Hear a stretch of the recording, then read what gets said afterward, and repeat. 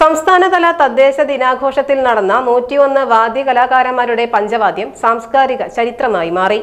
സംസ്ഥാന തദ്ദേശ ദിനാഘോഷത്തിന്റെ ഭാഗമായി ചാലിശ്ശേരി മുലയംപറമ്പ് ക്ഷേത്ര മൈതാനിയിൽ നൂറ്റിയൊന്ന് വാദ്യ കലാകാരന്മാർ അണിനിരക്കുന്ന പഞ്ചവാദ്യം തദ്ദേശ ദിന പ്രദർശന മൈതാനത്ത് അരങ്ങേറി.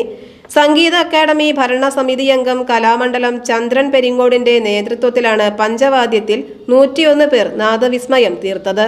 സർക്കാർ തലത്തിൽ നടക്കുന്ന പൊതുപരിപാടിക്ക് നൂറ്റിയൊന്ന് പേർ ഒന്നിച്ചണിചേരുന്ന പഞ്ചവാദ്യ പെരുമ പാലക്കാട് ജില്ലയിൽ ആദ്യമാണ്.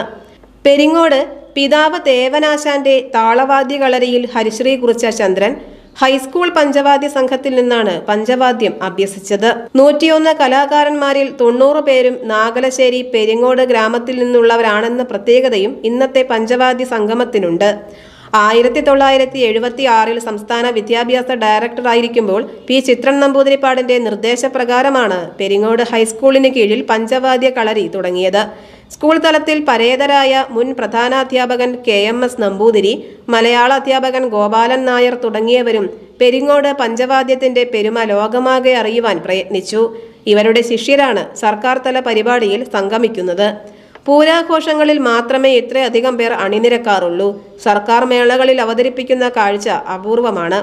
ഇതിനു മുന്നേ ലിംഗ ബുക്ക് ഓഫ് റെക്കോർഡിന് വേണ്ടി പെരിങ്ങോട് പഞ്ചവാദി സംഘം മുന്നൂറ്റി ഒന്ന് പേരെ അണിനിരത്തിയിരുന്നു.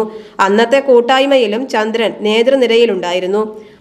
വാദ്യകലാരംഗത്ത് സുവർണ ജൂബിലിയിലേക്ക് പ്രവേശിക്കുന്ന കലാമണ്ഡലം ചന്ദ്രൻ പെരിങ്ങോട് തിമിലയിൽ പ്രമാണിയായി.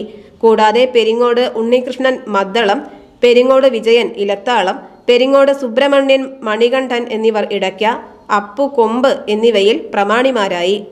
നാലര പതിറ്റാണ്ടിന് മുൻപ് പെരിങ്ങോട് ഗ്രാമത്തിന് ചുറ്റും വളർന്നു വന്ന പഞ്ചവാദ്യ കലാകാര സമൂഹത്തെ വളർത്തിയെടുക്കുവാൻ കഴിഞ്ഞതിന്റെ പ്രകടനമാണ് തദ്ദേശ ദിനാഘോഷത്തിന്റെ ഭാഗമായി മൈതാനത്ത് അരങ്ങേറിയത്. പെരിങ്ങോട് വിദ്യാലയം തൊഴിലും കലയും പ്രോത്സാഹിപ്പിച്ചതിന്റെ നേർസാക്ഷ്യമായി കേരളത്തിന്റെ സാംസ്കാരിക ചരിത്രമായതിൽ ആഹ്ലാദത്തിലാണ് പെരിങ്ങോട് ഗ്രാമവും കലാകാരന്മാരും.